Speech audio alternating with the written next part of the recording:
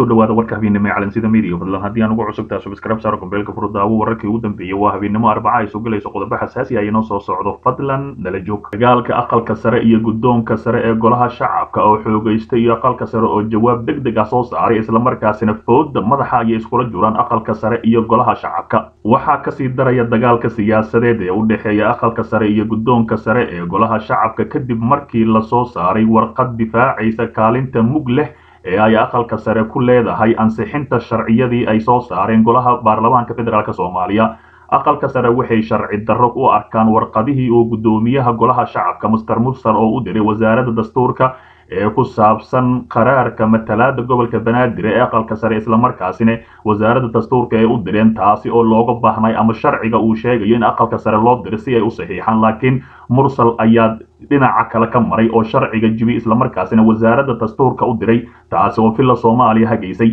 Warqadaasi ka timid guddoonka sare ee golaha shacabka waxay aqalka sare ku tilmaameen mid xadgudub ku ahi habraaca xirdejinta dalka ee ku qeexan dastuurka ama cutubka lixaad madaxa afraad ee dastuurka kumeel gaarka ah ee dalka islamarkaasina iminka lagu dhaqmayo. Waxaa intaasi dheer in aqalka sare ay waxba kama jiraan ka soo qaadeen afarta xeer ee qabyo tirka u ah sharciga doorashooyinka qaranka ee heer federaal haddiiba aan la waafajin habraaca xeerdejinta dalka. Sidaa daraaddeed waxay ugu baaqeen guddiga doorashooyinka inta laga saxayo aysan xeerkaasi u isticmaali karin doorasho qaran. Warqadda ay soo saareen aqalka sare waxaa ku xusan soo jeedin ku socoto guddoonka golaha shacabka master mursal kaas oo ku saabsan in sharciyadda matalaada gobolka banaadir ay u baahan tahay in loo dhammaystiro habraaca dastuurka qaranka sida uu sheegayo dambeyntii aqalka sare waxay soo jeediyeen in la akhriyo qodobka sagaalaad ee dastuurka kumeel gaarka iyo labiyo tobanaad ee qodobka lixaad ee sharciga doorashooyinka qaranka ee heer federaal islamarkaasina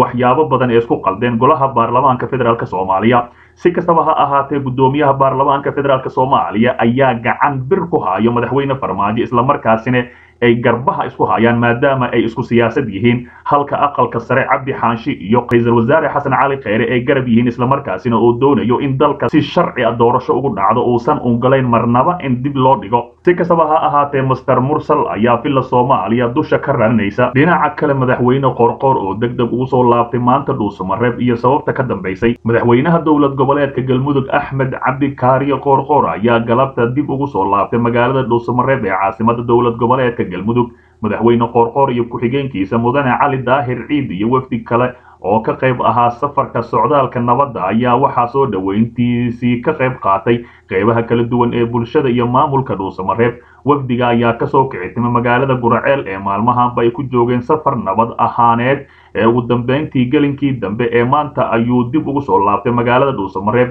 oo xarunta u ah madaxtooyada galmudug dib ugu soo laabashada madaxweyne qoorqoor ee dhuusamareeb ayaa la xiriirta diyaar garowga shirka. Maalinta khamiista ay ka dhici doono halkaasi kaasi oo ay isugu imaanayaan madaxda maamul goboleedyada ee dalka. Madaxweynaha galmudug axmed cabdi kaariyo qoorqoor ayaa muddo ku dhowaad bil ahi safar socdaal nabad ahi ku soo maraya deegaanada galmudug oo ka kooban gobolka mudug iyo galgaduud waxaana intii uu ku jiray socdaalkaasi nabadda uu sheegay inay ugu tala galeen in lagu qiimeeyo xaaladda ay ku sugan yihiin bulshada reer galmudug. Xildhibaanada baarlamaanka galmudug ayaa labadii bishii labaad ee sanadkan laba kun iyo labaatanka mudane axmed cabdi kaariyo qoorqoor u doortay madaxweynaha cusub ee maamulkaasi doorasho ka dhacday magaalada dhuusamareeb waxaana tan iyo markii oo madaxweynaha isku howlan sidii guud ahaan bulshada isku howlay sidii guud ahaan bulshada reer galmudug loo dhex loo dhex dhigi lahaa dib u heshiisiin waarta oo dhab ah islamarkaasina meel ugu soo wada jeesan lahaayeen si kastaba ha ahaatee qoorqoor ayaa noqonaya madaxweynihii ugu horreeyey oo galmudug islamarkaasina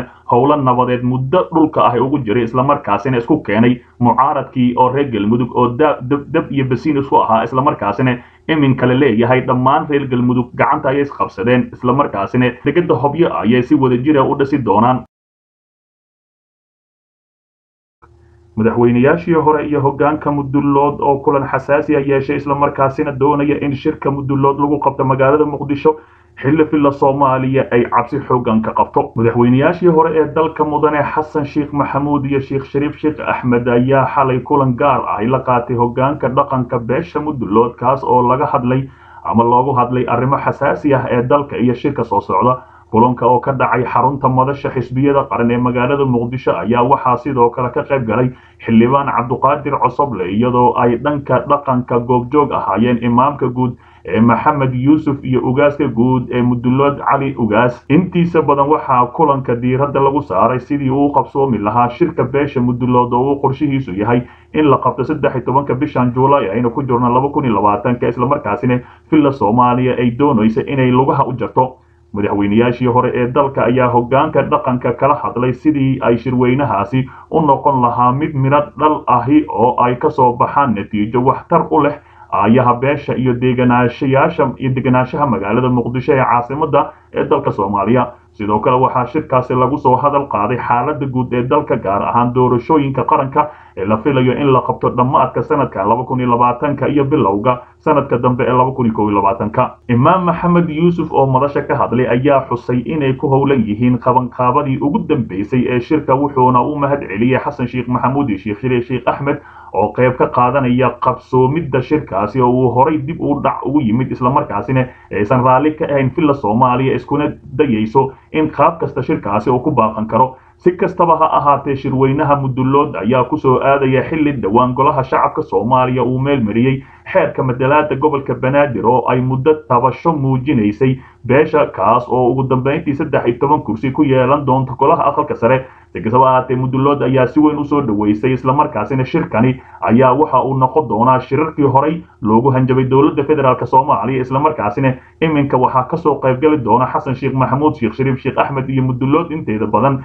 qaarka aan dowladda daabacsan oo laga yaabay salaad iyo cali maxamed geedi inay ka soo qaybgali doonin maadaama ay dowladda aada u taabacsan yihiin. Si kastaba ha ahaatee shirkaasi ayaa villa soomaaliya iyo ummadda soomaaliyeed isha u taagayaan. Wixii ka soo baxane dib ayaad ka daawan doontaan. Dhinaca kale top news ganacsatada jaadka kenya oo khasaaro ka soo gaaray tallaabo oo ay qaaday dowladda federaalk soomaaliya. Cabaadka ka baxaya ganacsatada qaadka ama jaadka ee dalka kenya ayaa sheegay inay khasaareen kumanaan dollar kadib markii ay sida ay sheegeen diyaarad sideqaad oo dhan saddex iyo toban dhibic tan